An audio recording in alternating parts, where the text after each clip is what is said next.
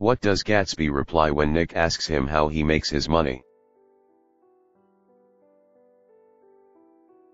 Gatsby's source of wealth is one of the novel's mysteries, though Tom will uncover him as a bootlegger. Gatsby at first tells Nick he inherited his money.